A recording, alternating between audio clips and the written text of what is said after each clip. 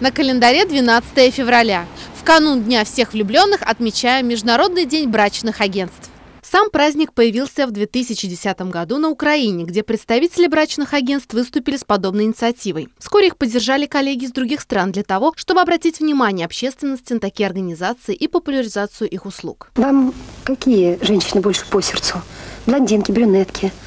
Рост, характер, образование. Так что же такое брачное агентство и с чем его едят? Это организация свах и, как правило, сопутствующих специалистов, предоставляющих личные услуги по поиску партнера для создания семьи. У нас немножко подход другой. У нас существует своя единая база данных по России, то есть у нас вот мы уже около года в Ульяновске, открывается сейчас открылись в Самаре, в Уфе, то есть э, также у нас э, договора с крупными агентствами в Италии, Испании, Франции, Германии. То есть у нас также представлена за граница.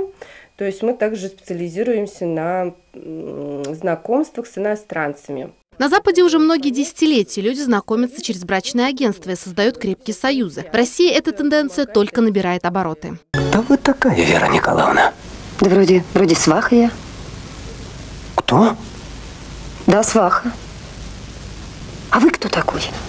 В Ульяновске сегодня работает несколько частных компаний, но результаты, как показывает практика, уже есть. Могу сказать то, что у нас эм, так как уже год, да, то есть люди у нас и в процессе только знакомства, также у нас некоторые встречаются, но некоторые уже как бы сказали спасибо, мы с вами воспользуемся вашими услугами, дальше мы сами. То есть вот этих людей мы не сможем никак отследить, э, мы только можем только те, которые как бы выходят с нами в дальнейшем на связь. К подобным организациям люди относятся по-разному. Одни с весомой долей скепсиса, другие имея определенные сомнения в душе, третьи с надеждой в сердце. Вы знаете, что такое брачное агентство?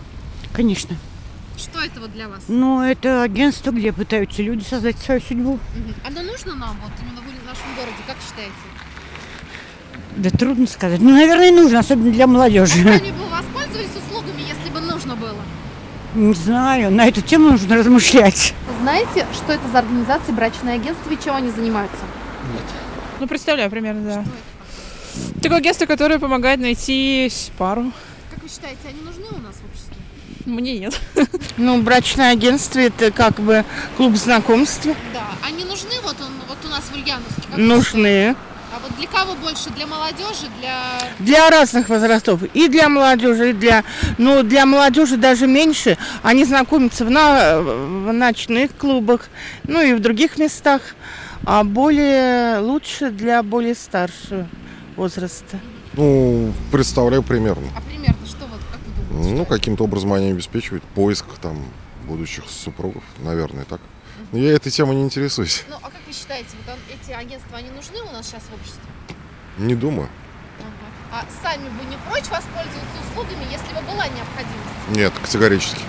Итак, если вы все же за поиском своей второй половинки решили обратиться в агентство, то следует воспользоваться полезными советами. Во-первых, следует избегать бесплатных агентств. Как правило, они тратят время зря. Во-вторых, хорошие агентства заключают договор на длительный период, поэтому если вам предлагают найти жениха или невесту за неделю, вряд ли такой конторе можно доверять. И в-третьих, любое уважающее себя брачное агентство обязательно имеет офис, они существуют лишь на виртуальных просторах. Наталья Чумаченко, Юрий Ломатов. Новости Ульяновской правды.